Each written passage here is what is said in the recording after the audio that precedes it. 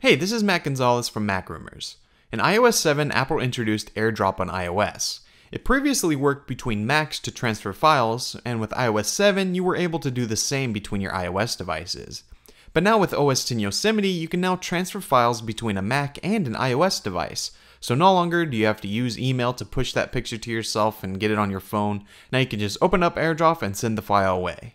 To get this to work, you need an iOS device running iOS 7 or later and OS X Yosemite on a Mac released in 2012 or later. On your Mac, you can open a new Finder window and click the AirDrop section to see which devices are available to use AirDrop, or you can also do this from within apps using the share sheet. So for instance, I have this photo I took that I want to use on my phone as a wallpaper.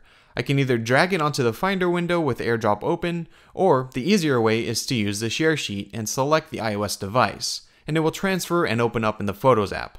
And this also works for whatever file you're sending. The file will open up in its corresponding app. Same thing on your iOS device. If you want to send a file back to your Mac, just open up the share sheet and select the device that you want to send the file to and tap on the device.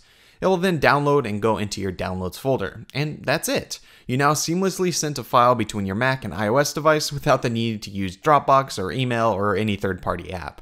If there's a file and a share sheet, you will most likely be able to use AirDrop, and it really is the easiest way we have right now to transfer files between our devices.